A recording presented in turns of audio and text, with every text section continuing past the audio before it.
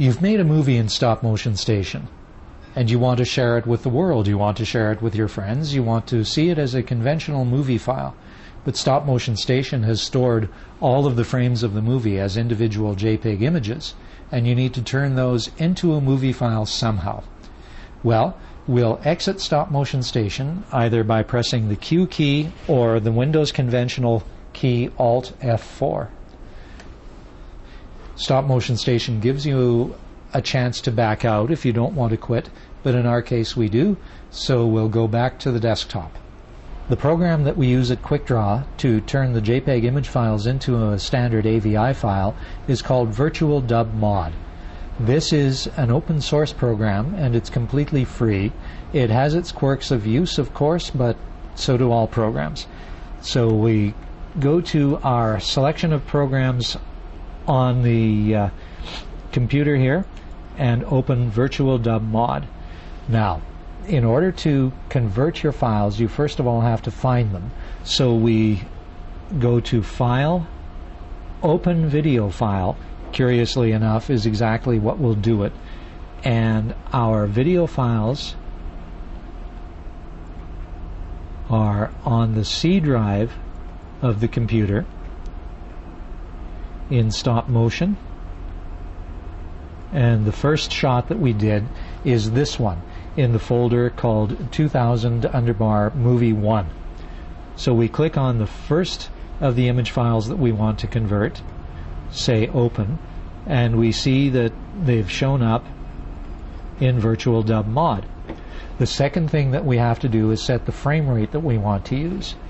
That is under video frame rate, and we'll change that to 12 frames a second because that's the way that we had stop motion station playing them back. Click on OK. Then we can go to the playback controls down at the bottom of the uh, frame, have a look at what we've got, and there was our animation played back.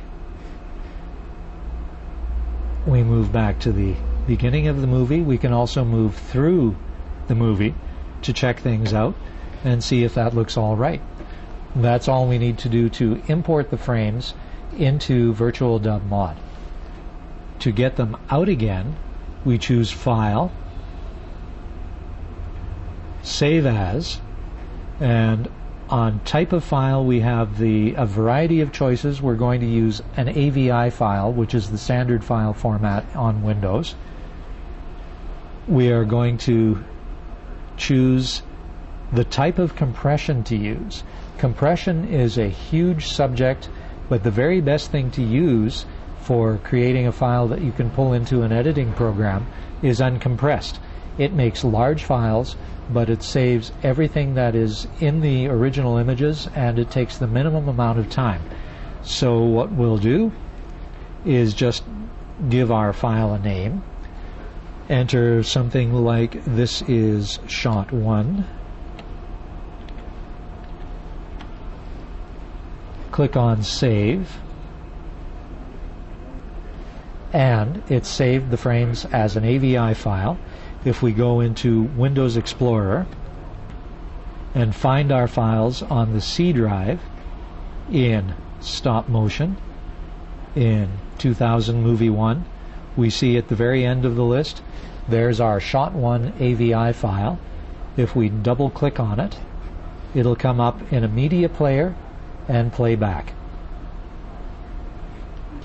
So there, we've created a very short movie in stop motion station and turned it into an AVI file that we can pull into editing software.